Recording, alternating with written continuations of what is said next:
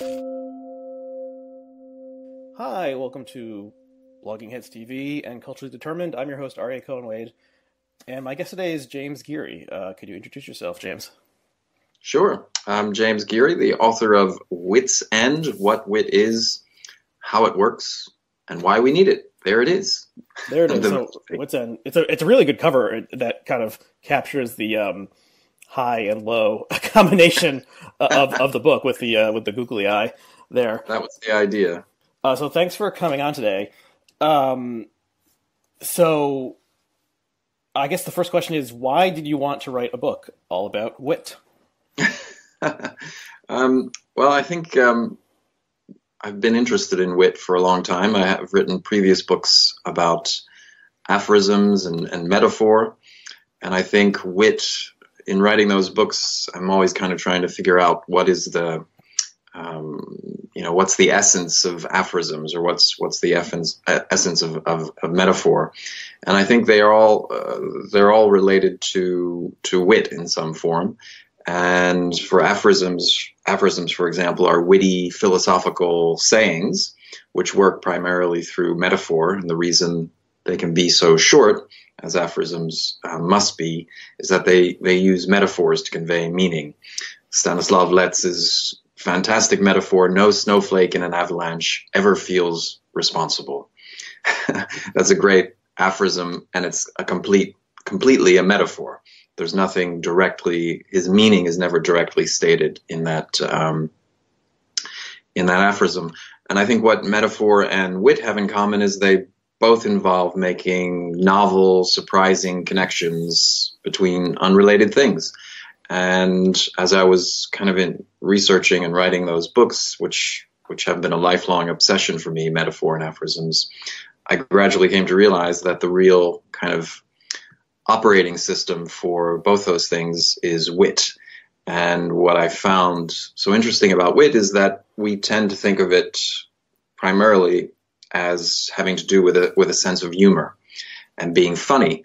But wit what I discovered wit is is is actually more a state of mind than a, than a sense of humor, and it's sort of like an intellectual, instinctive intellectual ingenuity that, like metaphor, involves making uh, or spotting, identifying uh, patterns in things and the way things can be connected and, and, recombined.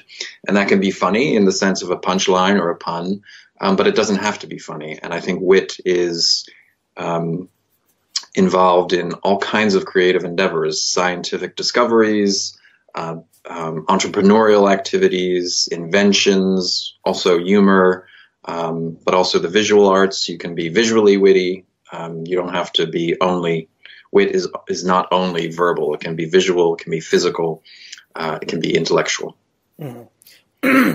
Um, yeah. So there's a lot there, and some points I want to touch on uh, later, especially um, wit versus humor or funniness. Um, but I want to talk a little bit about the um, kind of layout of the book, which is unusual in that every chapter is in a uh, different style that is often a kind of not parody, but you, you so you have like I think the first chapter is um, a uh, in the style of Alexander Pope and his um, yeah. heroic couplets, and then you have a scientific article in there, and you have a conversation between uh, Diderot and Madame de Stael, if that's how you say her name, and so, right. and it, you're switching every every chapter into a new, like a completely new kind of style, and the, and the uh, graphic design of the book switches as well, and, and most of the chapters uh, look different between the fonts or the layout.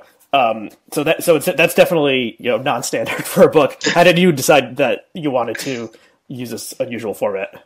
Yeah, I um, I originally tried to write the book sort of conventionally, you know, chapter by chapter. And my idea was to write very short chapters about one aspect of, of, of wit, and that, that chapter would sort of organically lead to the next chapter, and so on and so on, in the spirit of wit being the ability to make these kind of surprising connections. Um, but as I attempted to do that, I realized I was making the huge mistake that um, is the worst mistake you can make when you're writing about or talking about humor or wit. I was explaining things too much, and as a result, um, the, the the whole kind of spirit of the thing just wasn't wasn't clicking and it was falling apart and I was actually killing the wit rather than um, celebrating it.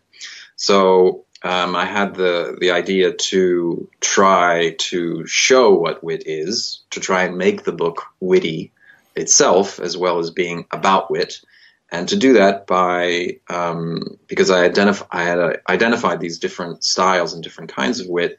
To do that by writing each chapter in a totally different style. And Alexander Pope, I started with him because he his essay on man, his great poem, is is really all about um, wit and about wit as I understood or as I came to understand it as a uh, wit as an intellectual ability. And then I had the idea, well, if I'm talking about or writing about verbal wit, I should write that in the form of a dialogue. And basically, that's the scene from a play. Um, and it's a kind of uh, Denis Diderot and Madame de Stael um, have engaging in witty banter back and forth about wit. And if I'm writing about the uh, how wit works in the brain, why not write that like a scientific paper? And and um, uh, there's a there's a rap song. I think uh, rap some of the rap lyrics are some of the most the wittiest and most inventive um, popular popular music lyrics out there. So I wrote um, a chapter as a as a rap song. Um, there's the spirituality of wit, um, and I wrote that in, in the style of a sermon. And um, there's also visual wit, so I wrote that in the style of um, an art historical lecture that someone would be giving um, uh, at, at, some kind of public place. And so to make that kind of conceit uh, complete in the book, we decided that each chapter would be designed in accordance with um, how it's written. So the the chapter that's written as a play for a scene from a play is when you look at it on the page, it looks like it's a, a play. The scientific paper is designed in those two columns, the way scientific papers are presented. Um, the sermon has very kind of elaborate um, drop caps at certain parts, just like you would see in a Bible or some other kind of um, book of scripture the rap song is written in a very cool kind of um, typewritery like font. Um, so each chapter, I tried to um, in each chapter have the the discussion of wit show what wit is and not just talk about what wit is. And it's not intended. None of those chapters or none of those styles are intended to be a parody at all. Um, if anything, they're they're meant to show my admiration for those particular styles and those particular um, stylists. So in doing that, I wasn't trying to be like satirical or um, to parody the originals on which those are based, but to use those as a kind of example and template to um, you know kind of hold my my own discussion of wit. Uh, yeah, I, am sure you're familiar with uh, the, the aphorism about um, trying to dis- dissect humor is like dissecting a frog. Yeah. Um, you know, the, you kill the frog and you don't really learn anything. Um, so, so you have avoided. I think you've avoided that fate um, of. That's good to hear. yeah, losing not like the forest of the hills, but like yeah, you know, humor is inherently silly and lighthearted, and you know, kind of pulling apart too much uh, can ruin it in a way. Um, mm-hmm. So the first substantial chapter is about puns. Yes. And puns, I guess, are like the most maligned form of humor or considered. Yeah, just like I mean, I would think about it like you know, you think like, oh, like you know, Grandpa Willie really he likes puns. Like that's just the thing he's into. It's just like oh, like kind of weird people like puns, or if if, if someone says a pun during a speech, like everyone will be like you know like groan, and that's kind of an accepted thing to do about in reaction to a pun. But you you stick up for puns and try to um, rehabilitate them and kind of make it the uh, yeah, like the starting place for the, for the rest of the book. So, what can you give us some thoughts on puns and why we should take them more seriously than than maybe we do? Yeah, I've never understood why puns have such a bad reputation. They're they're often considered um, described as the, the the lowest form of wit, but I actually think puns are the highest form of wit because I think they embody um, the essence of what wit is. And what wit is, is, like I said earlier, uh, it's making connections. It's not necessarily making a joke. Like I said, wit, wit can be funny, but it doesn't have to be funny. But what wit always involves is making a connection. And in a pun, you have two words that have different meanings, but they sound the same, and you're making that connection. And, um, you know, some of the, I don't, my defense of puns is not that all puns are like brilliant intellectual exercises, but that, that they are demonstrating the essence of wit and the essence of creativity by embodying that ability of the human mind to make connections. And I think that's the essence of creativity. So a very simple pun like, um, if you've seen one shopping center, you've seen a mall. You've seen a mall. So you may groan when you hear that pun, but it's actually a, a, a, pretty brilliant demonstration of human creativity to take two really, really different things and based on the similarity of sound to, to, to bring them together. And the other thing that I think is unique about puns and, and speaks directly to um, wit is that I think people generally we tend to think of witty people as like like you were saying, and people who make puns as weird or different, or that wit is some kind of special ability that only people like Oscar Wilde or Mark Twain or Dorothy Parker have. But I think in puns, you see that wit is something that everybody has, because what happens in a pun is that the person who makes the pun and the person who gets the pun, understands the pun, they're engaging in exactly the same kind of intellectual endeavor. They are making it the identical connections. So the person who makes the pun between shopping centers and mall, and you've seen a mall, is uh, made that connection first and kind of initiated it. But the people who hear the pun make exactly that same connection. And regardless of whether you're making the pun or hearing it, you're making that connection. Mm-hmm. And so that means the person who makes the pun and the person who gets the pun are equally witty because they're they're making that same connection. One is doing it in one direction and another is doing it in a in a different direction, but the connection is the same. Mm-hmm. And that's what I think is a demonstration of how everybody is witty and how the human mind, even if we groan when we, we, realize what the pun is, has this innate, instinctive, really, really fast, quick ability to make connections. And like I said, that's the essence of wit, and I think puns demonstrate that in daily life, um, whether you happen to appreciate the pun or not. Yeah, that's interesting. It makes me think that like uh, puns are kind of like a, a democratic form of for a viewer because uh, pretty much anyone can understand them and uh, lots of people can make them. You can make up your own pretty easily. Uh, you know, children are invited to enjoy them, like on the wrappers of Laffy Taffy. Um, you know, uh, candies. I remember there will always be like a really bad joke. Yeah, you unwrapped it, and it would usually be some kind of pun based. Pun yeah, silly puns like that. They're, um, they're great.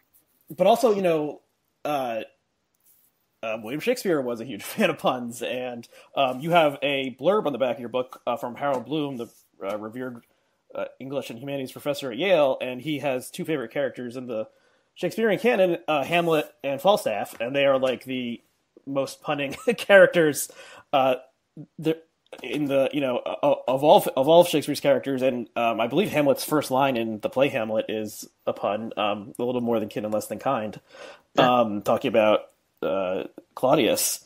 So yeah and you know Hamlet is put forward as the you know like genius of Western literature, but he's and he and he uses uh, you know this kind of humor like hundreds of times throughout throughout the play.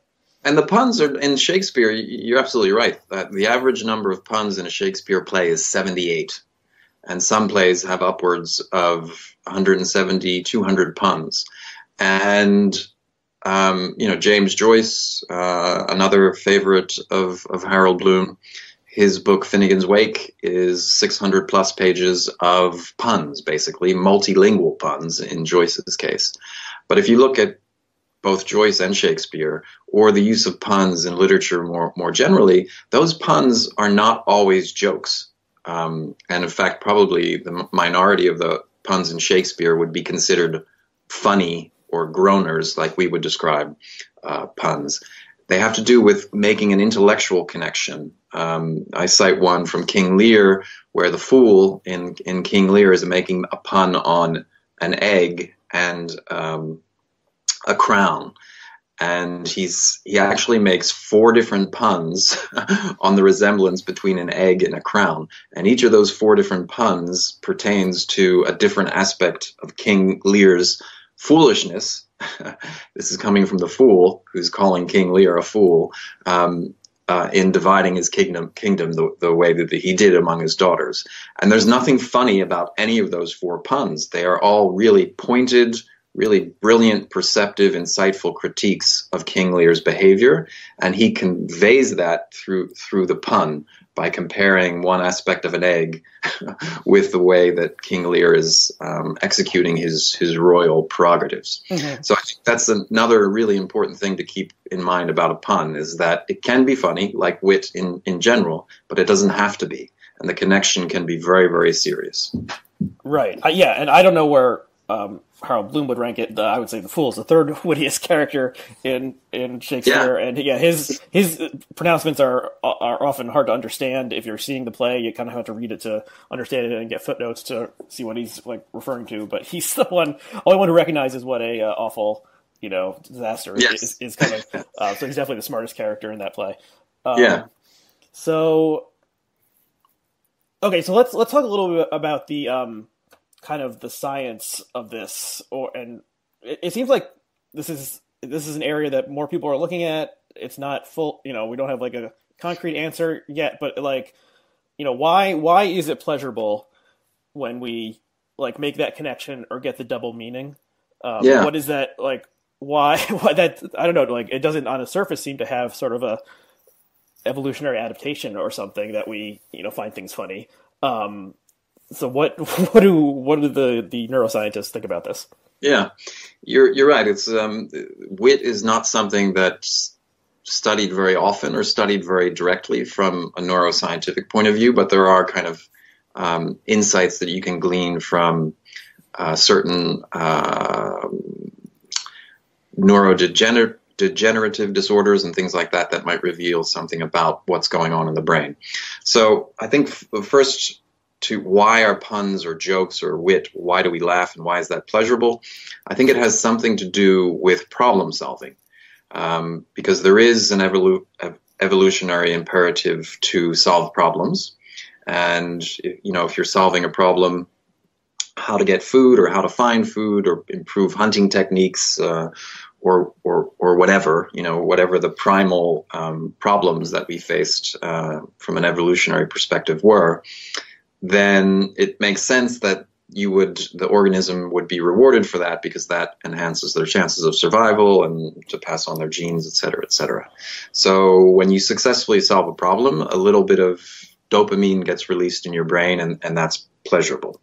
And if you think about wit, and especially if you think about it like we've been discussing it, as the ability to make connections, whether you're listening to a, a, pun and trying to figure it out or trying to figure out the punchline to a joke, or if you're in the process of scientific discovery or invention, those can essentially be compared to like solving a riddle. Um, there's a lot of similarities. You're given a bunch of clues, and you have to synthesize the information and come to the, the, the, right answer. So that's basically problem solving. And getting a pun is like solving a riddle. You're solving a, a problem, a linguistic problem or a semantic problem. Mm-hmm. And I think so that's the relationship between, um, and that too then would release a little bit of dopamine and you get a kick out of getting that pun and you would laugh or, or groan or whatever it is. Um, so I think there's the relationship between pleasure and wit and deciphering uh, things.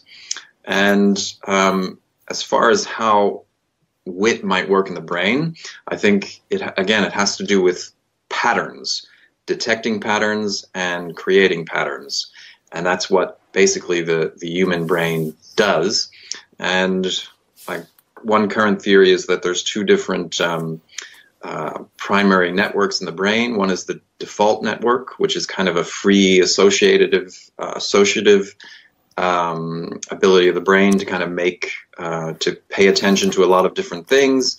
Sort of like when you're daydreaming or you let your mind wander or you're kind of riding in a train just looking out the window and letting all kinds of impressions thoughts and observations pass through your mind that's the default network and the executive network kicks in when you're focused on a single task like i got to change this tire or i got to finish my math homework or i've got an article deadline to you know tomorrow night or i have to prepare for this interview um, and I think the default network, that kind of ability of the human mind to um, be open to and process lots of different information at the same time, I think that's where wit happens.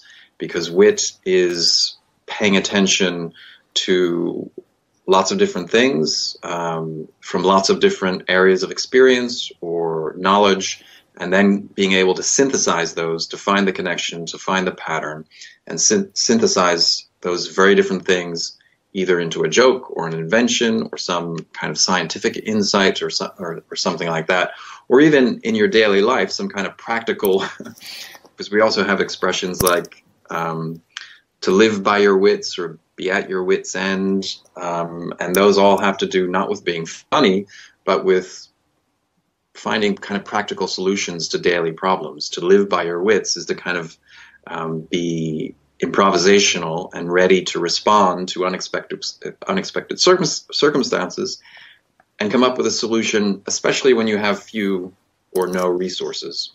So I think that default network in the brain, which allows us to pay attention to lots of different things, and then when we need to, to synthesize those into an action, a thought, something we say, something we do, that that's where wit, I think, kicks in from a neurological perspective. Mm-hmm. Um, can you talk about the um, disorder of people who have a brain injury or like a, a, lesion, a lesion or a brain cancer or something, and they start like uh, telling puns or telling jokes nonstop? And... Yeah.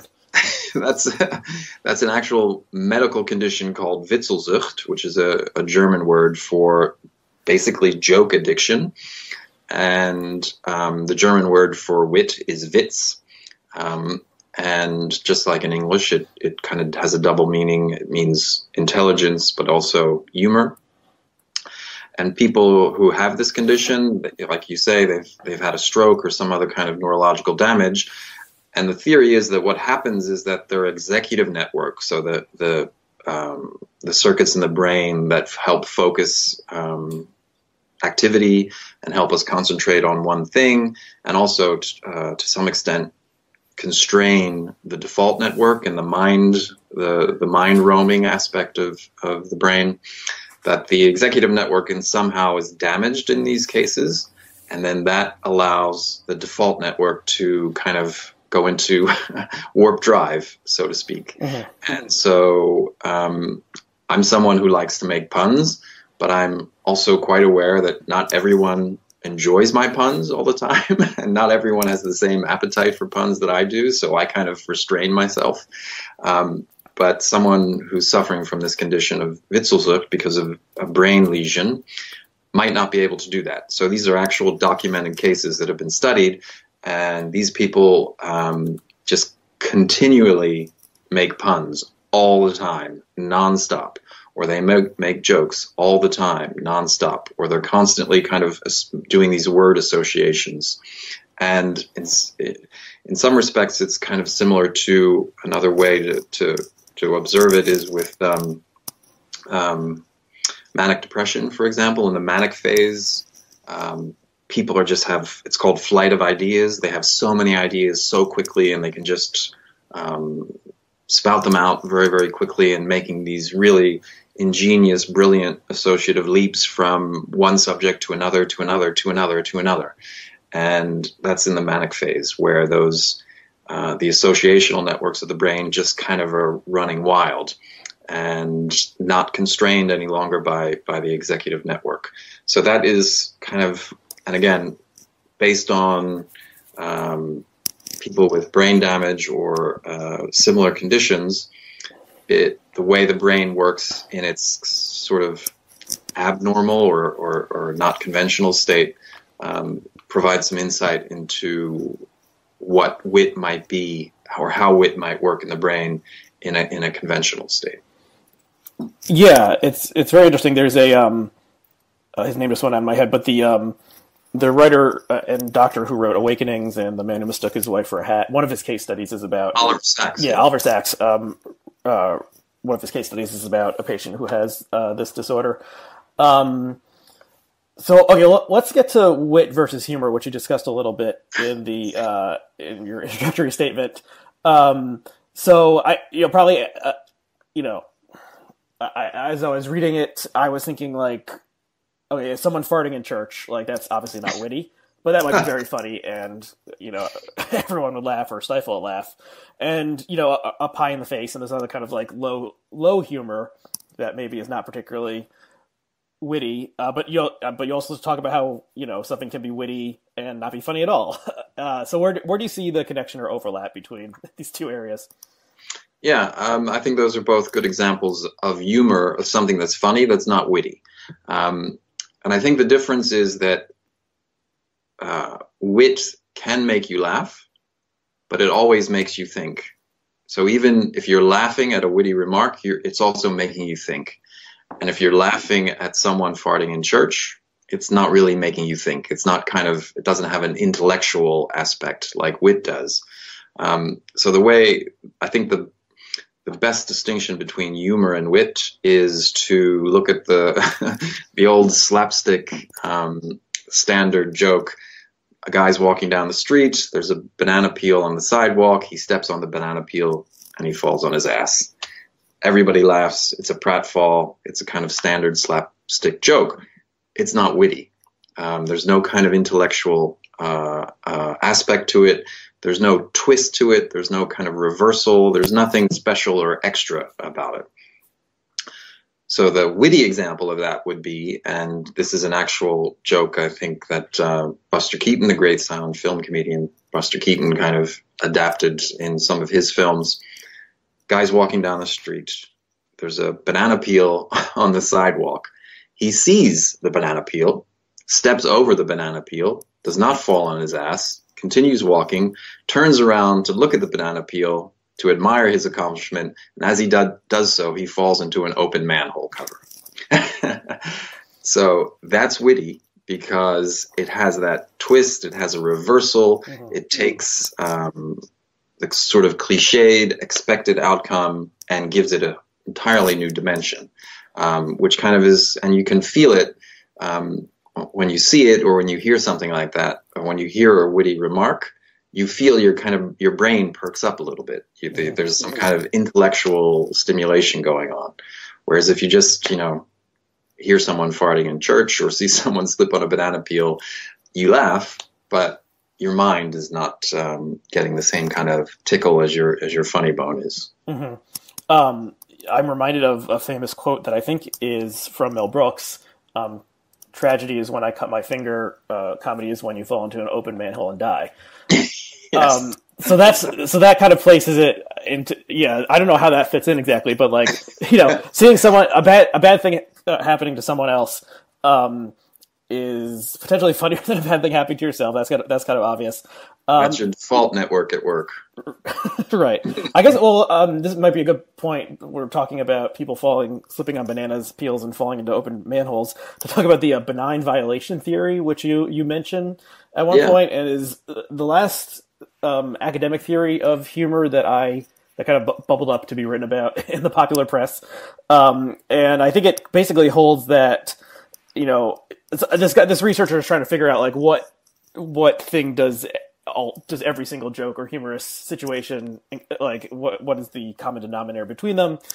And so the benign violation is uh, you know someone someone if someone if you saw someone actually walking down the street and fall over you wouldn't probably start laughing. You'd probably like go to help them and check, check on them to make sure they were okay. But if you're seeing it in a cartoon or a movie, you know that it's not real and everyone is actually fine, and so it's okay to kind of like release the tension within you by by laughing, and then all sorts of other jokes can or types of jokes can fit into this schema. You know, like dirty jokes are you violate the mores of um, morality, and, but you know, there's no nothing actually happens. No one's actually hurt. So what do you what do you think about this, and does this relate to wit?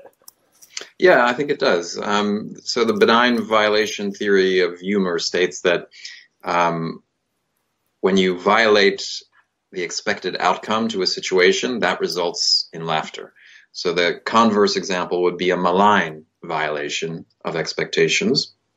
And I think you see that in horror films, you know, when the, the villain's, you know, hideous face suddenly appears and there's a loud screeching noise that's a malign violation. And it's malign because not only are you surprised, but you also feel physically scared or, or you, that your physical well being is, is threatened. And a benign violation, like you say, violates your expectations, but um, you're kind of you're going to be okay. You're safe, and um, um, so that I think is is one.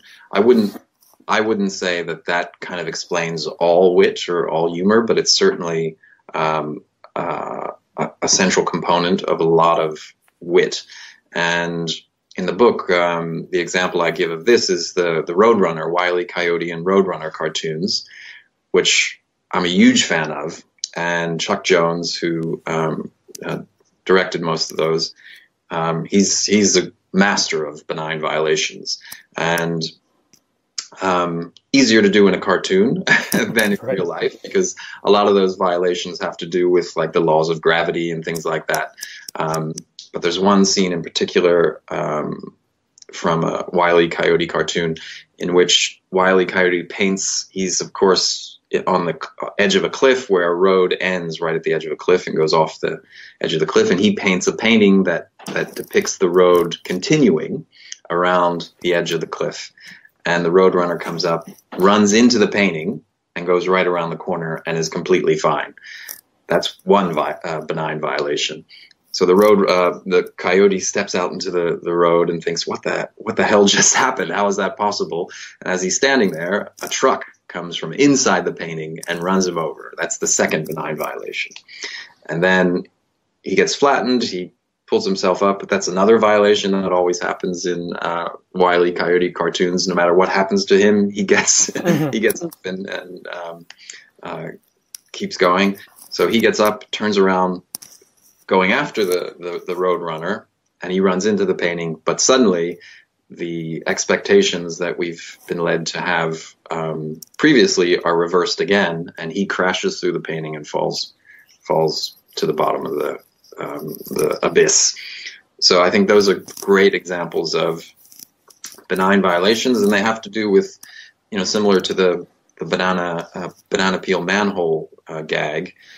They involve kind of taking what everybody expects and everybody knows and giving it a twist, reversing it, upending it, and in some way, kind of just um, subversively undermining um, what we expect to happen and giving it this kind of fresh um, twist that results in, in, in, laughter.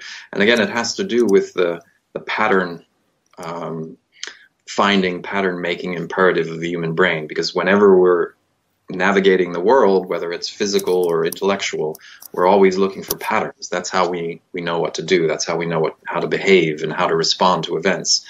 And so we're always looking for patterns. And manipulating those patterns and twisting them and subverting them is a is a great way to come up with a, a witty gag or a witty remark. Mm-hmm.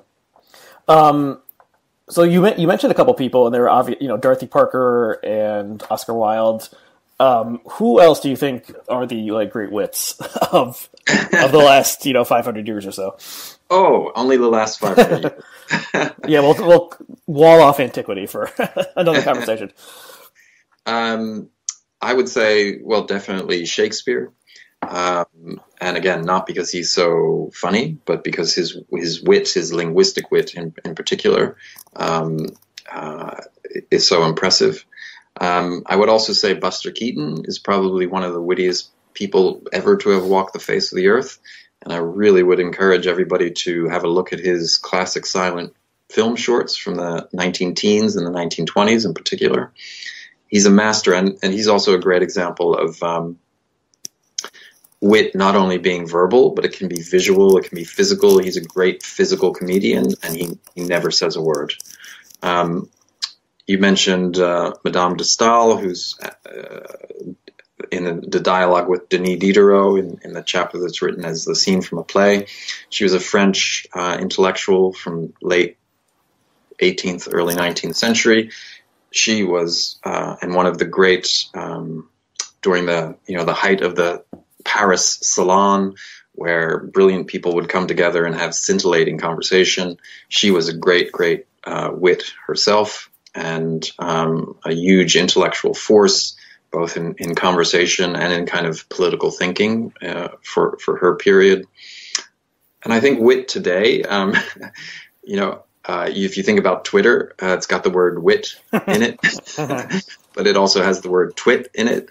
And um, uh, I think Twitter can be a really great um, vehicle for, for wit and some of the best, the wittiest things that, that I've seen uh, on social media, Twitter and other other social media are like memes that get created in response to um, news events. So I think that's like a spontaneous expression of wit where, you know, whether it's uh, the government shutdown or the Brett Kavanaugh Supreme Court hearings or, or whatever, um, there's this kind of collective witty mind out there, mm-hmm. and, and people are so fast in coming up with the great GIF to to kind of make fun of some political event or some uh, you know statement by a politician or something like that. So I think wit is still um, very much alive and well today, and I don't think the only examples of wit can can be found in Shakespeare time. I think it's it's happening. It's all around us. And the title of my book, Wit's End, is not. Um, it's a pun. I'm sorry to say, um, and you know it can mean on the one hand the end of wit, but it also means, and that's the the meaning that I'm most interested in is the purpose of wit wit's end. Um, what is the to what end do we have wit? And I think um, that's the, what I explore and celebrate in the book. Mm-hmm. Yeah, I, yeah. Twitter is it contains multitudes, and but you can see a lot of very very funny stuff on there, and that's one of the main reasons I stay on there. And um, yeah, think about you know memes is like the modern form of wit. I mean, it it's like communal and participatory in a way that previous ones weren't. You know, there are only so many seats at the Algonquin Round Table, and they wouldn't just let anyone co- come in. Whereas if you can, you know, use basic photo editing software, you can, uh, you know, add on to a meme and extend its life. And there, there have been some pretty good ones. Uh, the distracted yeah. boyfriend. Have you seen that one? That was that was one of the top ones of the last year or so. Uh, we'll include, include a link to it. It was like a stock photography of street scene um, guy is walking down with his girlfriend, and there's another woman who is approaching the camera out of focus. The guy is turning his head around to check out the woman, and the girlfriend is looking at the boyfriend in shock and dismay. And, and somehow it just so people just started labeling the different things of like it's basically like you're going from one thing to the next.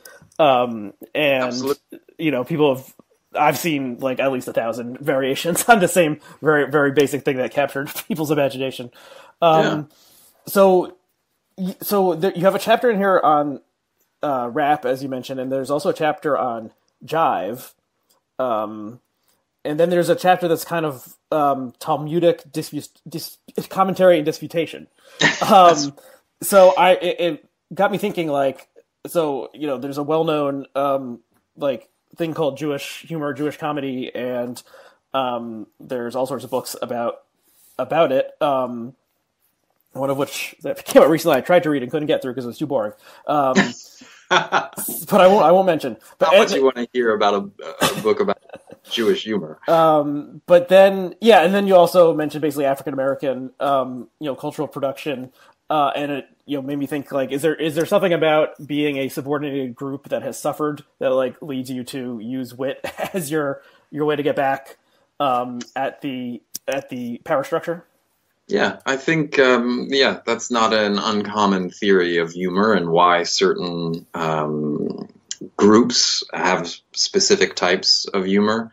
Um, I come from an Irish background, and the Irish were also at one point a, a persecuted uh, group, and the Irish also have a very distinctive form of of humor, um, very kind of verbal, voluble um, kind of humor. so I think there is something to that, and but I don't think it explains everything. Or if you're not part of a persecuted group or oppressed, or um, that you don't have humor, or that all humor from uh, oppressed groups is the same.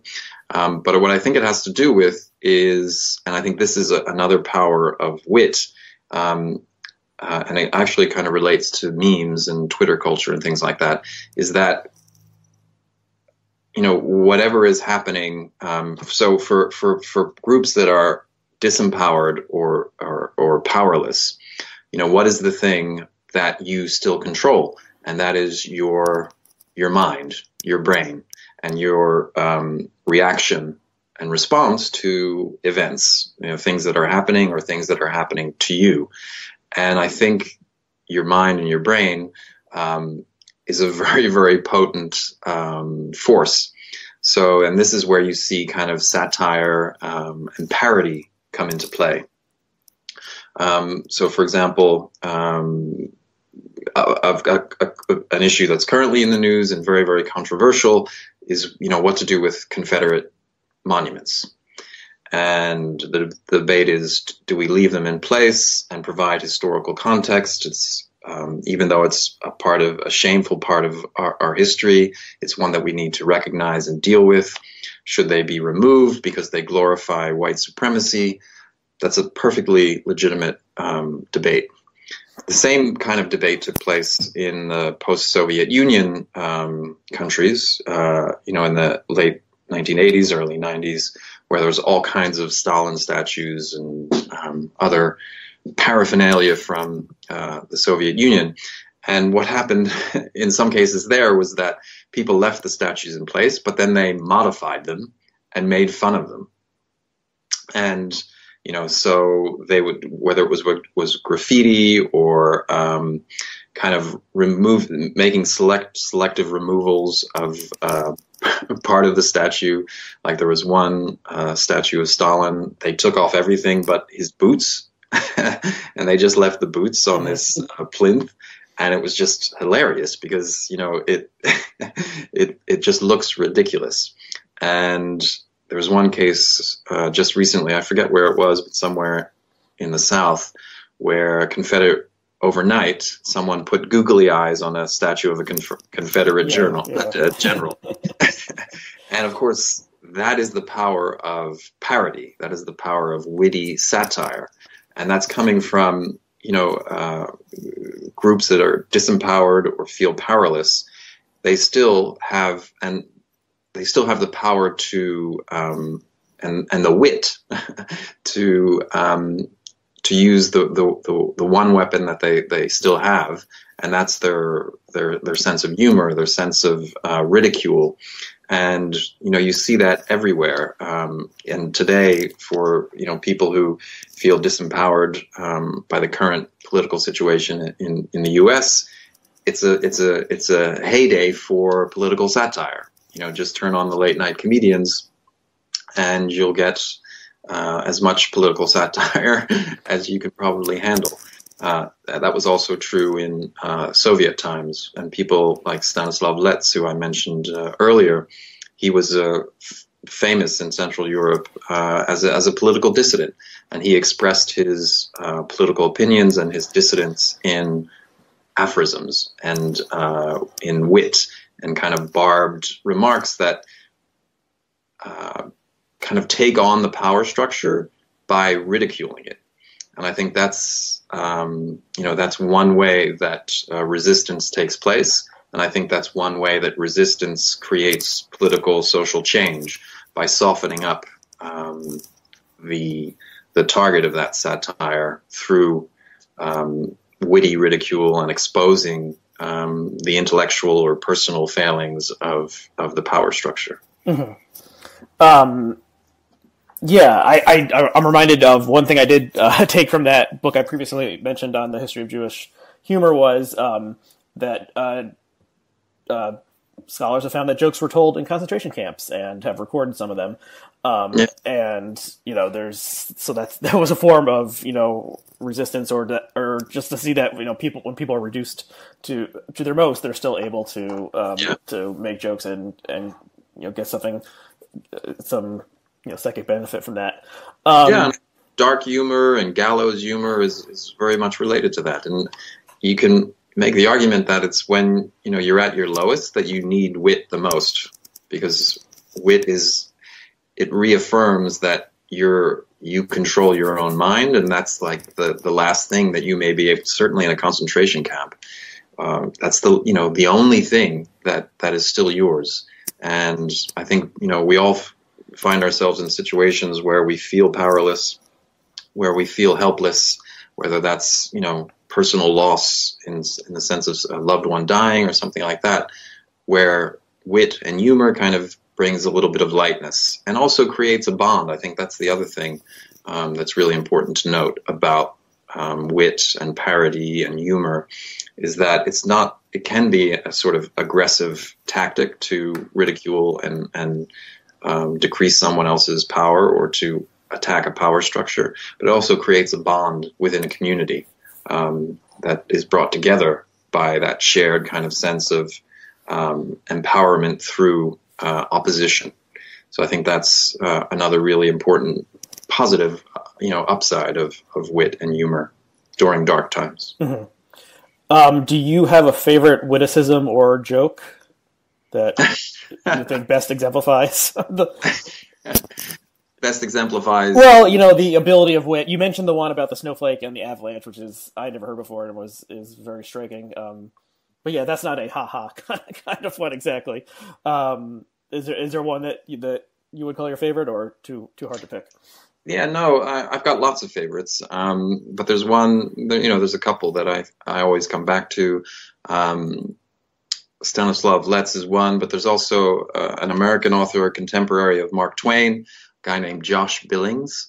He's largely forgotten today, but um, he and Mark Twain were contemporaries and friends, and he was just as famous, if not more famous, than Mark Twain was when when they were both alive. And he um, wrote essays. He worked as a journalist, and he was a humorist like Mark Twain, and gave lectures and things like that. He's also a great aphorist, and uh, some of his um, aphorisms, I think, speak to what we were just talking about. I don't, I'm not a big fan of self-help um, literature, but certainly um, aphorisms and sayings and, and wit is something that can come to your rescue when you when you are feeling powerless and helpless and, and when you're feeling down. And one of his um, aphorisms I always think of when I'm faced with particularly difficult, challenging situations, and that is this: be like a postage st- stamp stick to one thing until you get there. I think that's that's really witty and also kind of very optimistic. Yeah, that is a nice one. Um, okay, maybe maybe the last question. Um, so your um, your bio in the back here uh, shows you juggling, and it mentions also that that you are a juggler. Um, so you must be a pretty hardcore juggler if you wanted it if you wanted it to be uh, featured in your author photo there. Um, I'm a uh, very amateur juggler. I taught myself in middle school or high school from the Klutz book, but I haven't really past that point. Um, do you see? Book. Is there something witty about juggling? Is there a connection there? I mean, there's no usually juggling is part of a like comedic performance that you know. yeah. There's not like I don't know if there's like a sad juggling if that's if that's if that's possible or not. Um, yeah. No. Do, you, do you see a, a connection there? Oh, absolutely. Yeah, yeah. Uh, I mean, I, I, consider myself an amateur juggler as well, a very avid one, but, um, you know, I, I can't juggle seven balls or, or you know, flaming torches or, or anything like that.